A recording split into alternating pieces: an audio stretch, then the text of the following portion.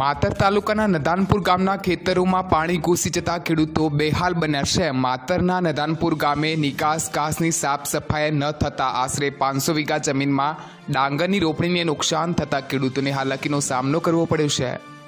હાલમાં કોરોનાની મહામારી વચ્ચે ગરીબ અને મધ્યમ વર્ગના ખેડૂતોએ દેવું કરી ડાંગરની વાવણી કરી હતી એવામાં તંત્રની બેદરકાળજીના કારણે આજે પાંચસો વીઘા જમીનમાં કેળસમાં પાણી ભરાતા આજે ખેડૂતોની હાલત કફોડી બની ગઈ છે. વધુમાં ખેડૂતોની પૂછપરછ કરાતા તેઓએ જણાવ્યું હતું કે સરકારશ્રી અમારી વેદના સમજી અમોને અમારા નુકસાનનું વળતર મળે તો અમારું ગુજરાન ચાલે એવી હૈયા ધારણા રજૂઆત કરી છે.